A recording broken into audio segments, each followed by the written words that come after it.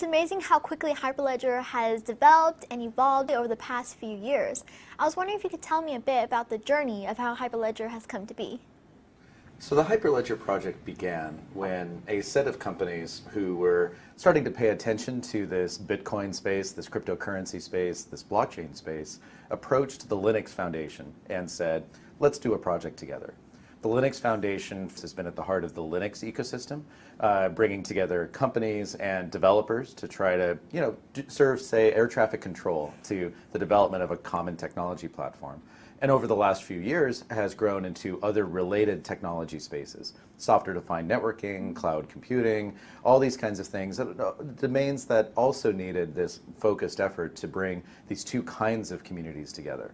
So it's very natural when companies like IBM or even new ones that had never worked with the Linux Foundation before, like JP Morgan, or mm-hmm. startups in this space like Digital Asset, when they started to talk with each other and, and, and, and try to figure out where a good home for this would be, they approached the Linux Foundation, right?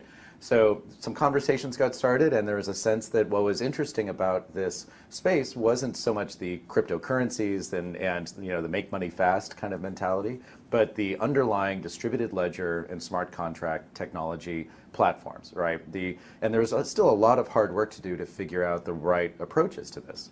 So uh, in December of 2015, um, the Linux Foundation, in conjunction with those companies and about 30 more, announced the launch of the Hyperledger effort, right? The Hyperledger project, which we really just call Hyperledger now.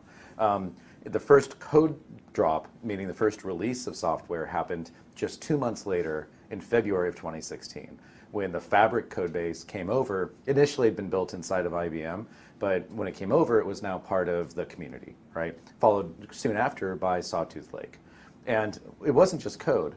The community uh, started to meet face to face on a pretty regular basis, about once every two months. Uh, and this was because there was a lot to sort out, a lot uh, of knowledge to share. Uh, I joined in May of 2016, so a little bit of a latecomer, I guess, to the launch of it. Uh, but I joined partly because I saw how transparent and how engaging, um, even from day one, all of these processes had been.